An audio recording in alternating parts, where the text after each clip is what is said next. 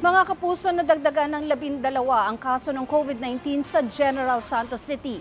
Kabilang dyan ang dalawang nurse at dalawang menor de edad. Sa 1,190 na confirmed COVID cases, 140 ang nagpapagaling pa. Isan libo ang gumaling na, 50 ang nasawi. Sa Bataan naman umabot na sa 3,364 ang COVID cases. 25 ang bagong naitalang kaso. Pinakamarami ay mula sa bayan ng Abukay. Dalawang taong gulang ang pinakabata. 263 pa ang active cases.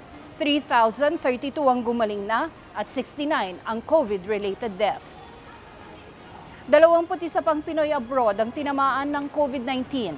Sa tala ng DFA, pumalo na sa 11,670 ang COVID positive na OFW.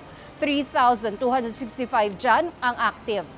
7,559 ang recoveries, habang 846 ang total deaths.